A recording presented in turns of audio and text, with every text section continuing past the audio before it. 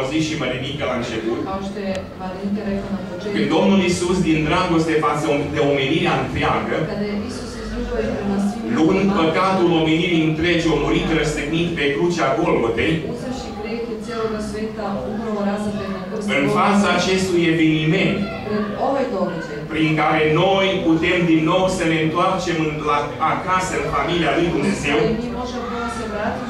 ali mi možemo ponovno se vratiti u Božju porodicu. Domnul kući. Isus punea mărturia aceasta în fața judecătorului Pilat. Isus je rekao pred sudnjom Pilatom. M-am născut, zicea Domnul, și am venit în această lume ca împărat.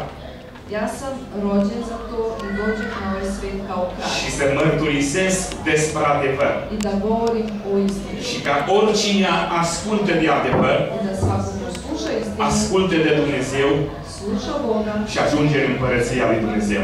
i stiže u Bože carstvo. Doamne, ajută-ne la Bože, aceasta. pomozi nam u tome. Să putem crede cuvântul lui Da Dumnezeu. možemo verovati u Božju Să reč. putem crede că Dumnezeu este care ne vorbește adevărul. Da možemo da verujemo da je Bog taj koji nam govori Și istinu. în felul acesta să ascultăm de El I na taj način da slušamo și njega cu bine i da dobro să ne terminăm călătoria noastră pe pământ završimo naše putovanje na ovoj și zemlji. să ne bucurăm alături de Da se Domnul. radimo zajedno sa Domnul Božim. să ne ajute la Neka aceasta. nam Bog pomogne u tome. Amin.